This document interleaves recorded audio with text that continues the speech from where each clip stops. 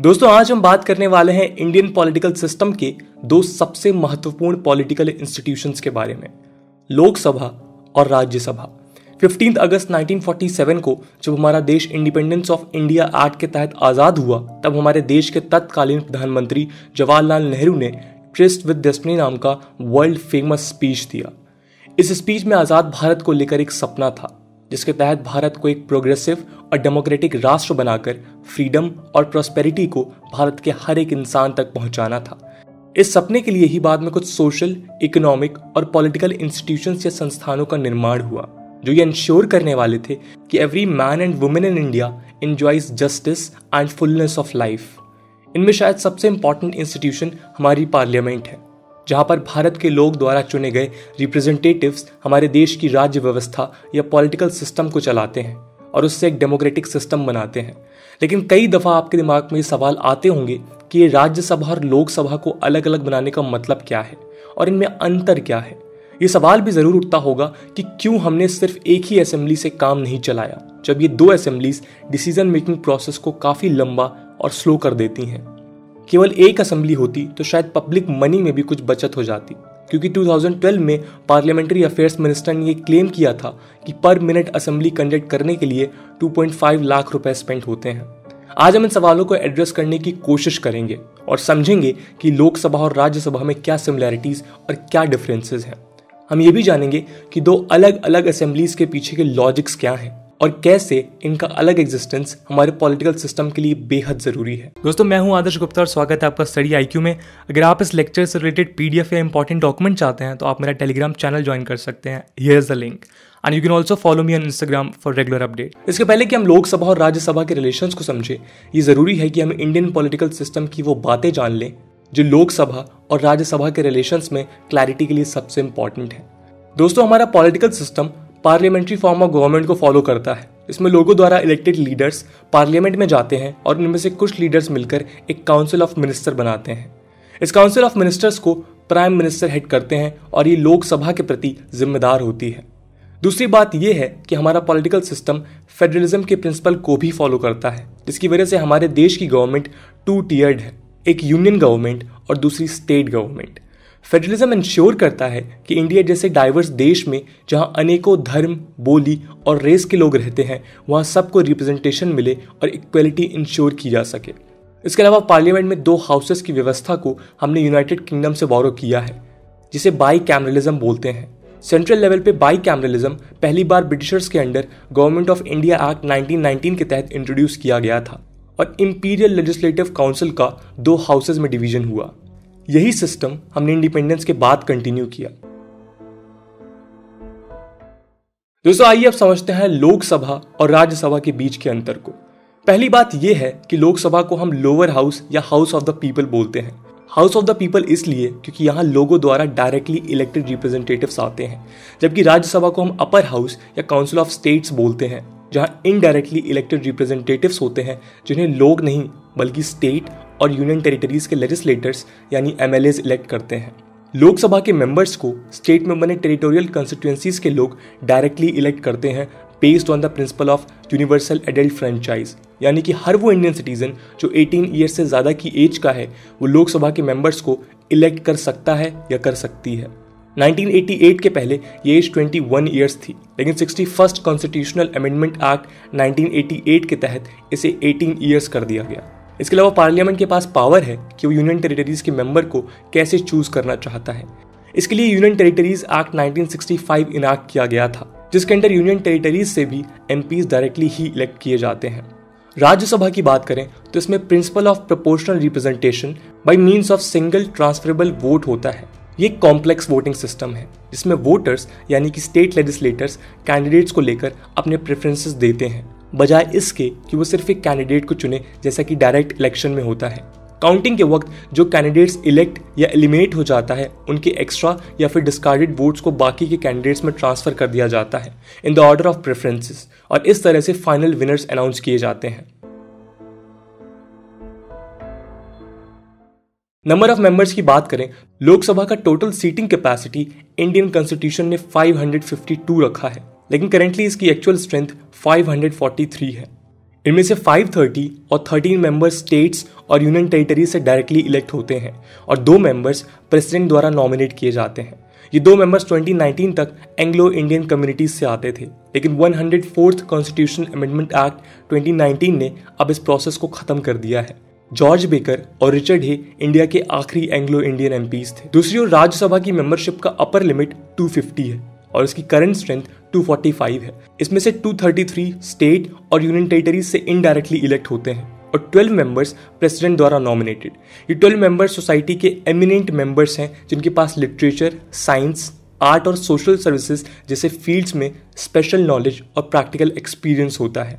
इस हिसाब से राज्यसभा में कुछ एक्सपर्ट्स को भी रिप्रेजेंटेशन दिया जाता है, जो लॉ मेकिंग प्रोसेस को बेटर बनाता है। यूनियन टेरिटरीज में केवल दिल्ली, जम्मू एंड कश्मीर और पौंडुचेरी को ही राज्यसभा में रिप्रेजेंटेशन मिला है, क्योंकि केवल यही वो स्पेशल यूनियन टेरिटरीज हैं, जिनके पास खुद का लेजिस्लेटिव असेंबली भी है।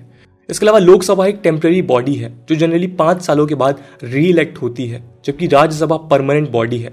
राज्यसभा के वन थर्ड मेंबर्स हर दो साल में रिटायर होते हैं और उनकी सीट्स पर न्यू इलेक्शंस होते हैं। इस हिसाब से राज्यसभा के एक मेंबर का टेन्योर लगभग सिक्स ईयर्स का होता है।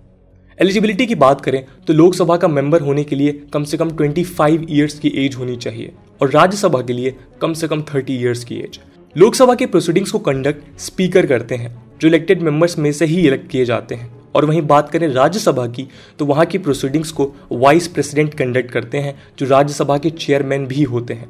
इनका इलेक्शन एक इलेक्टोरल कॉलेज के थ्रू लोकसभा और राज्यसभा दोनों के इलेक्टेड रिप्रेजेंटेटिव्स करते हैं।